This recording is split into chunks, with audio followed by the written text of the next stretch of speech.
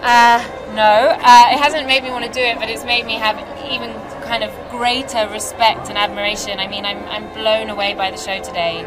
It was so epic, and I just honestly, it was really a beautiful, beautiful experience. There's an amazing pink jumper which I've actually worn in a magazine coming up. But yeah, the pink jumper with like studs, and then I love the like see-through frilly like black and beige like dresses that you wear on top of stuff. And there was a, a, a trench with leopard print arms.